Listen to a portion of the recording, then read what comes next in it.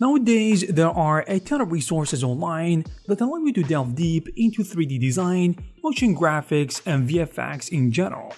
Some are better than others, and they usually provide assets, models, textures, templates, elements, and everything else in between.